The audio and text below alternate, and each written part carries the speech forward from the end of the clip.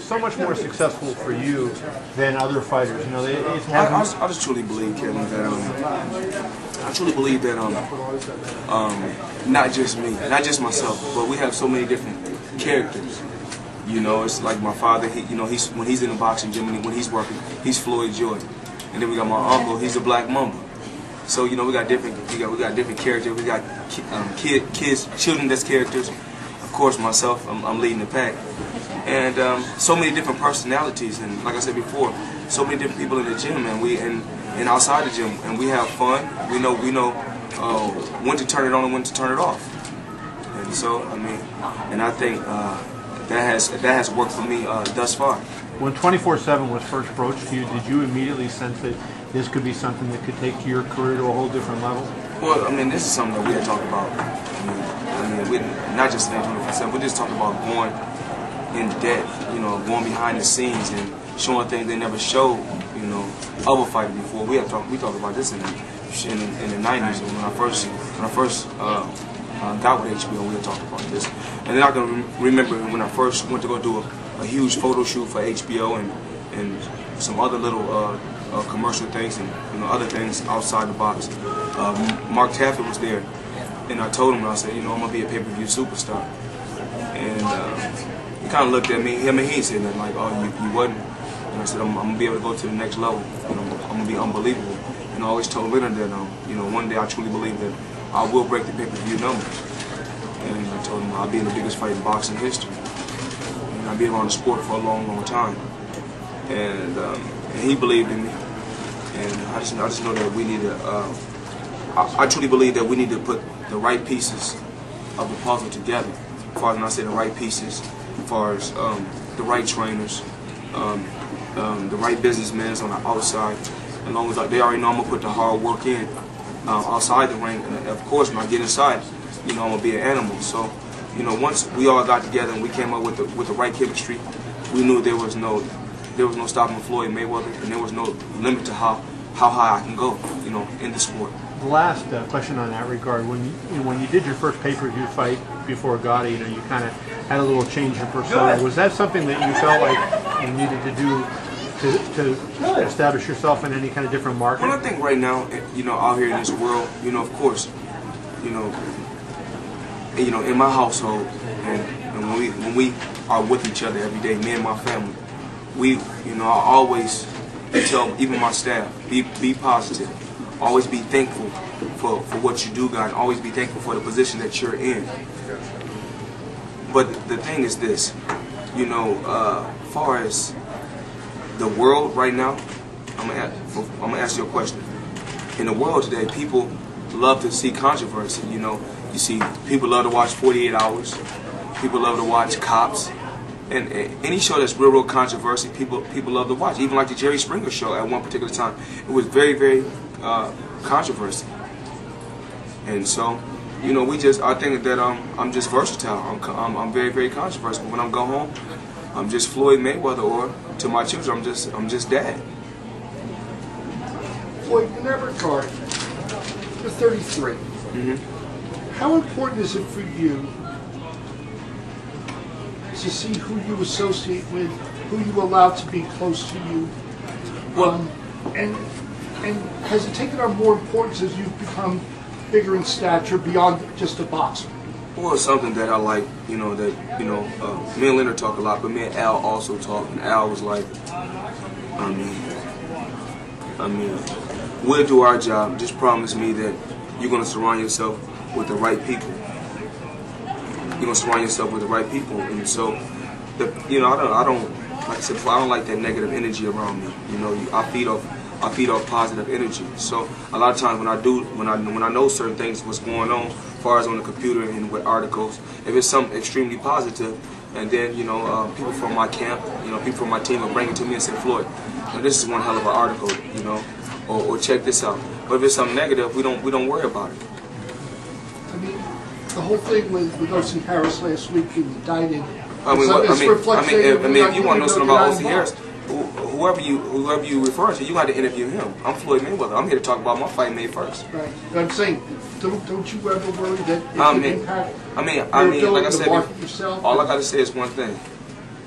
in any situation. If it's dealing with my fight, you know, I'm gonna answer the question. But something that has to do with something else, um, that has nothing to do with Floyd Mayweather. My last name is not Harris. My last name is Mayweather. That has nothing to do with me.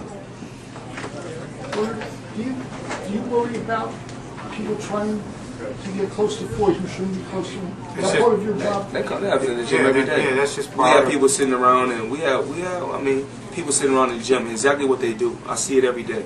Do you They- know everybody they- who's in the gym every day with you? Well, we know the people that's in the gym. We know the people what they do. It actually, well, they try to get close to Nate Jones, and they try to get close to Roger, and they try to get close to my dad. They, how they like, they got clothes or posters or we give you this. You know, it's it's it's bribery basically. The ultimate goal is I got to get close to Floyd Mayweather. That's the ultimate goal. But um, my team, I mean, as far as my um, my security team, um, all my assistants and everybody that you know that's with me, even 24/7. Everybody played a major role, and I'm very very thankful.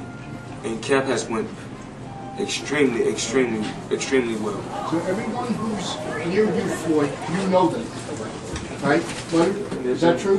Everyone that's around Floyd? Our know? Ah, inner circle. Inner You're in the circle. Oh, you know, right? And they've been, they've been okayed by Floyd himself, right?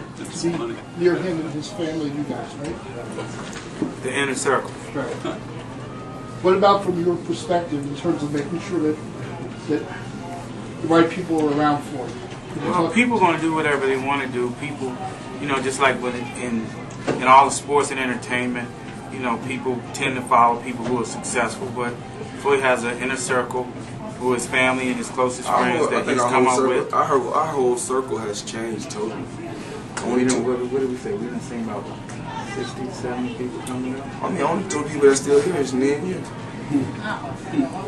Everybody else has changed. I mean, it's mainly it's mainly the, the guys that I'm with. Mainly it's the guys that I um, grew up with. The mainly guys that's with me now is the guys I grew up with.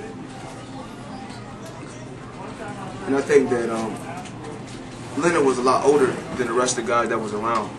A lot of young hotheads. A lot of times, you know, they go out and do certain things. And since, you know, I'm the, I'm the main person, when something happens, it falls back on me. So there's nothing I can do. When you say grew up, grew up in Grand Rapids, right?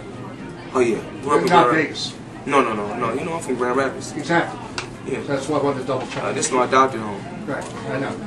Let, let's talk about the fight. I mean, what do you think about as far as the whole um, entourage? We see all the people out here. How big of a fight do you think this will be in terms of, of pay-per-view and live gate? Only thing I do is just um, hope for the best. Only thing we can do is hope for the best. And um, Golden Boy, Richard Schaefer, um, Mark Taffet, um, two two guys I love to work with, and, and can always do business with Mark Taffet and Richard Schaefer. And like I said before, uh, Richard has done a, a tremendous job with Shane's career. He's getting his biggest payday. So, I mean, what can I say? but it, but we but every time we do business, every time Golden Boy Mayweather Promotions and Golden Boy does business, it's a, it's a blockbuster. Do you guys set a goal for what you're trying to get, or is it just There's no limit to what we can do. There's no limit to what we can do. The sky is not even a limit. You know, if you set you, you know, they say, okay, we set it to do. We say, if they did say it's gonna do 700, I mean, not this fight, but I'm saying this is one of my fights. it'd do something like 1.4. So um, we can never uh, set a certain number. Only thing we can do is hope for the best and uh, keep our fingers crossed and know that um, when the ultimate goal is to always the ultimate goal is to always break records. So you know that's something that we always look forward to doing.